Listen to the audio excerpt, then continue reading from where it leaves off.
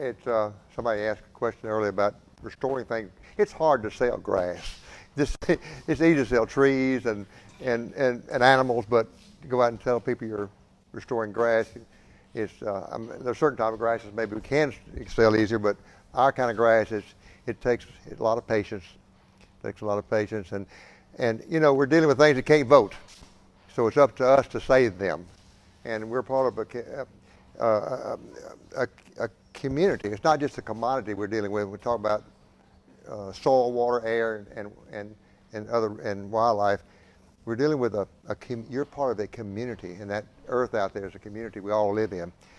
Uh, I heard, a, I think Morgan Freeman talking to a, uh, an old, a Native American chief, and he said Morgan asked him about the resources, and the chief said, you know, when you talk about Mother Earth is not just a resource to be used and abused.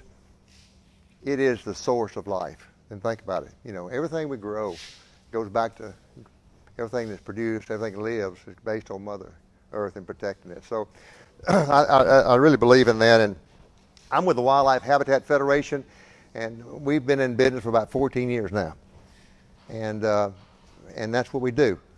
We believe that everything we do is we're trying to remove constraints like he was talking about today, the, the, the invasives.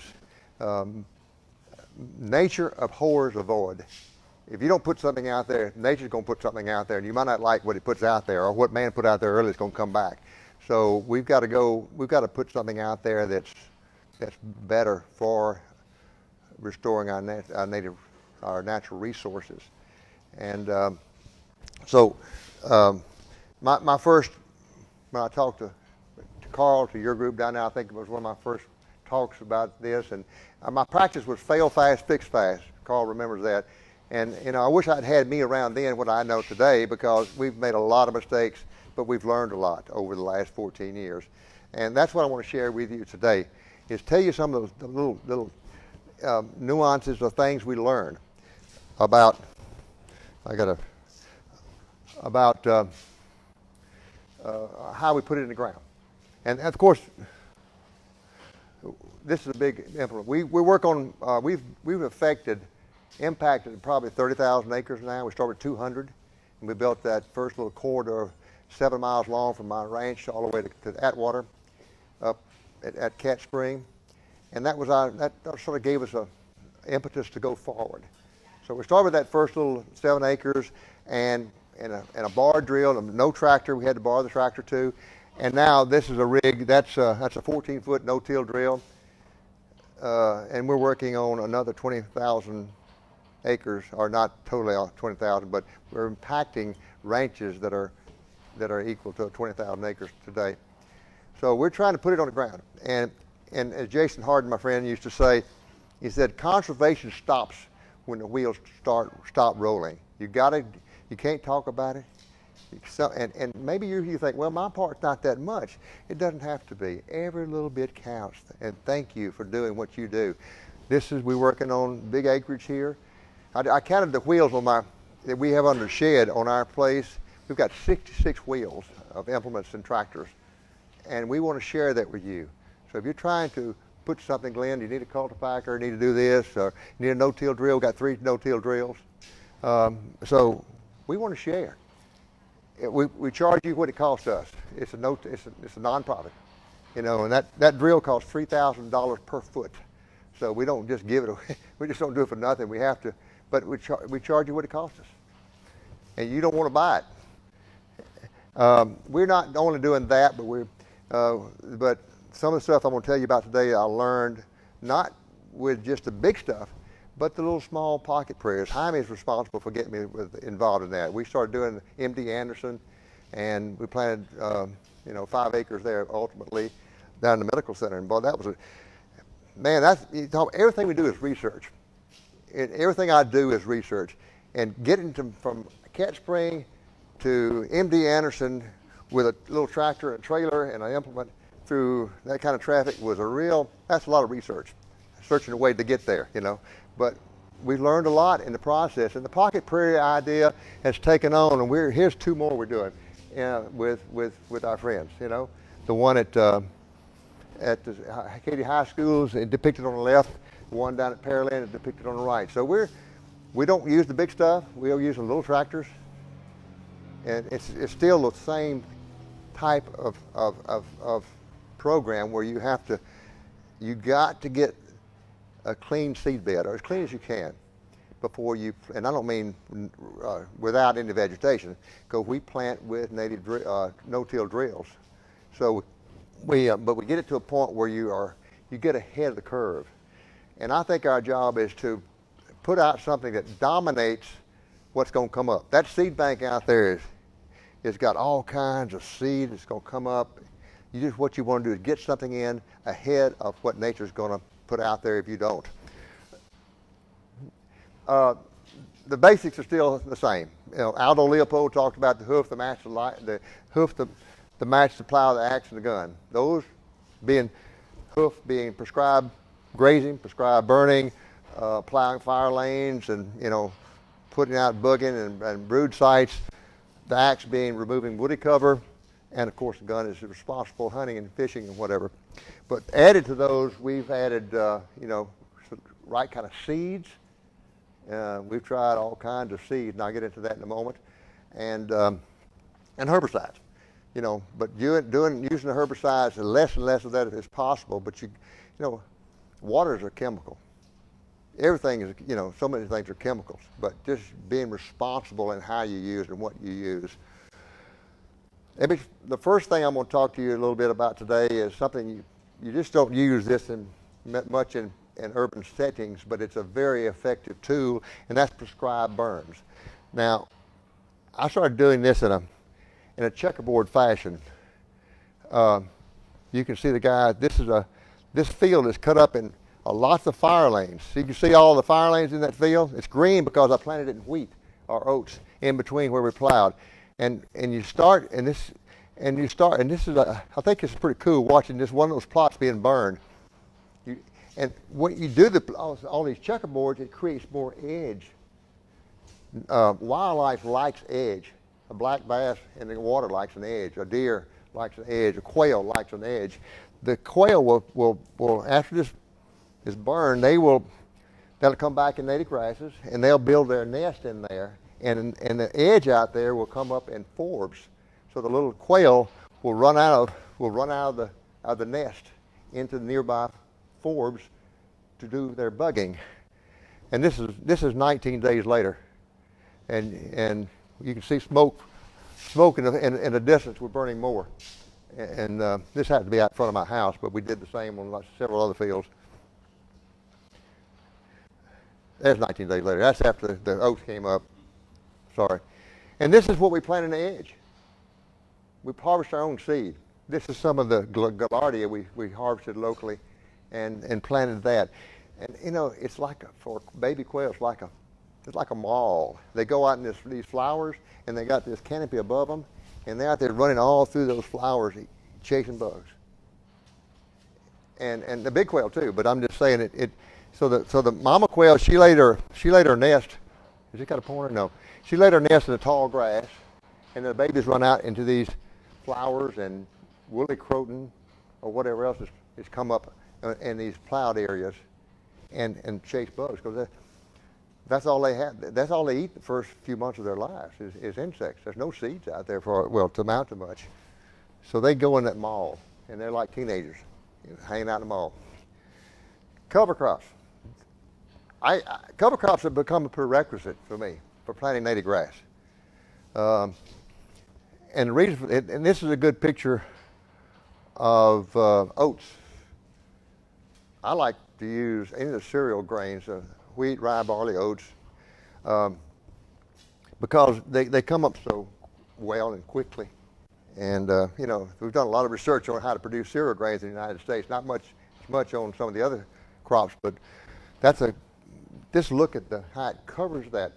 It just takes over that land. It's like a herbicide. it's going to it's going to shade out the invasives that are going to try to come up. So I just think the world of cereal crops. Now, uh, others, there's a oats on the left, and see, look at it's got that's just soon after you know emerging, and look at the uh, the humus it produces. It's um, it sequesters so much so much carbon too by by you know so quickly.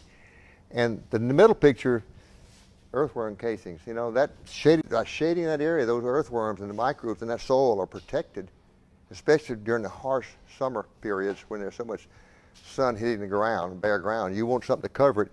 And, and there's a little plant coming up in um, uh, a dicotyledon of some type. It's coming up in that in that thatch that the oats, when they fell down and, and created humus, and that humus is uh, earthworm food. Remember, when when it goes down and decomposes, and it's providing that humus for that young plant to come up. So I like I think hermit, uh, cover crops. Don't try to rush it. I, I you know I'm impatient. If you're, but if, you, are not patient, you know, go to Walmart or, or, McDonald's, but don't go try to grow native grass. uh, and here's the here's the new idea on cover crops. Go with go with these tubers. That's uh, turnips and radishes. The idea here is they break open the soil up, in especially the black soil. You know, like you, some of the stuff you got here. You got to open it up where they can get some some water in the ground or or it just it gets so compacted after like cattle are running on it. So cover crops, and you know I like to eat radishes and turnips anyway. So it's you know plant that in with your cereal crops, with your oats and your wheat or whatever, a combination. But my gosh, it prepares the soil so well for your native grass when you plant it. You have more success. Now, sometimes you have to spray after you plant a cover crop a little bit because what you're going to be doing, you're going to be planting in the stubble you're going to be planting in the stubble of what of that cover crop. So this is this is oats and that stuff I just showed you that's been herbicided, and now it's standing up. We're pulling a no-till drill through it, and you can do that in a small plot. I just happen to have a picture of a big plot here. Uh, the next item I'll mention uh, is um, what seed to use. Seed are cheap when you consider all the stuff you got to do buying seed, I mean, it's not, it's, that's the cheapest part of your operation. Everybody, oh, I can't pay that much for seed. Let me tell you, all that other preparation costs a lot more than the seed. So make sure you you get the right seed. You know, don't uh, don't skimp on the seed. And, and people say, well, you can use native uh, local ecotypes. And the next one said, oh no, use commercial. It has stronger germplasm. The answer is yes, use both. Just find the right proportion and the right people who can supply you with PLS. Remember somebody said, what is PLS? Pure live seed. Don't buy on the basis of, a total weight by PLS basis, pure live seed basis. Because you get, you can buy a lot of seed and not have high PLS and you don't have really good seed. So what do we do? Combination. And I, we have to have local ecotypes. That's why we bought this harvester. This was made up in Billings, Montana we have our own source of native grass seed. I buy some native grass seed from other companies, but you've got to have that native, local, eco, locally grown ecotypes in the mix, okay? And high, going up to 50% is not beyond reason putting that much in your seed mix. Um, I don't know what we used at Katy Prairie, but it was pretty high, pretty high local ecotypes, or you used. We planted for you. Um, and and uh, So, so anyway, put, put uh, use local ecotypes, but I believe again in using commercial seed with it. And why? Because if you don't have commercial seed out there, the local ecotypes are low succession, and they're not going to come up the first year, most of them. They're going to come up second, third. I've had some come five years later, up five years later, and people think they're gone and not coming up. Some of the stuff takes a long time it native grass seed has its own mind of its own, and it's going when it's going to come up when everything's just like it wants it to be. So this is a nurse crop. This is some. This is commercial seed I bought. This is uh, we bought and planted. That's a green top.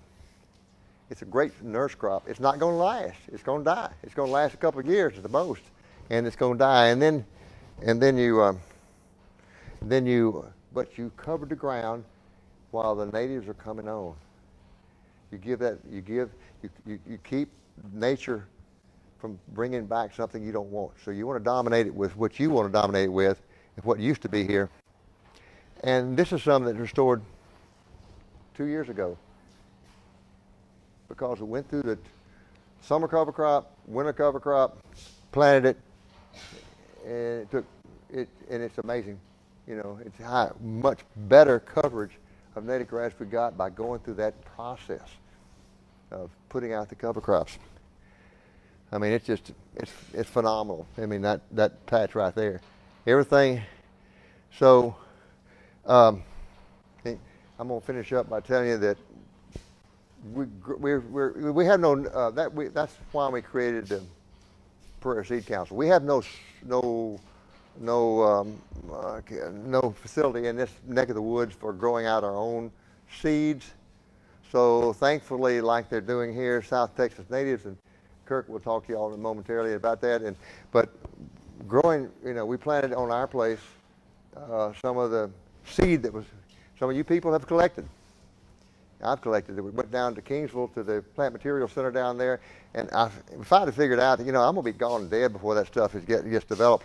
Not to say they did a wonderful job because we're using some of the seed in, that they've developed down there, but we decided to expedite the process, and so we're growing some of that seed out. That's 32 different plots of little blue stem and 32 different plots of, of, of um, knotroot, not root bristlegrass growing alongside one another. And it's coming on, folks. That's, I forgot how long later, I forgot to look. And uh, that's even later. Look at that stuff. It just, and, and it's wonderful. Every six feet is a different seed group. I mean, a different collection from all the way from Kingsville or Victoria, I think it was, all the way to Louisiana coast uh, border. And so, um, but as you walk through there, it's, it's amazing how much difference there is in this collection. This one different collections, or 32 collections that you'll see. So they're going to select that, and I'm not going to get into their program, but I'm just tickled to death with what's, what, what they're doing. We finally got some seed we're going to have here that we can grow out here on, on, our, on our place or for you people to use, or for me to use, because I want my own source. Yes, sir. Is that sandy soil? It is sandy. Yeah, it, it is sandy. So, um, and it's irrigated and that's something we don't, and so that's why you see it. But some of those, we dug up some of those, some plants, not these, but some others we grew in that area, and the roots uh, are 10 feet long in one year. They go down.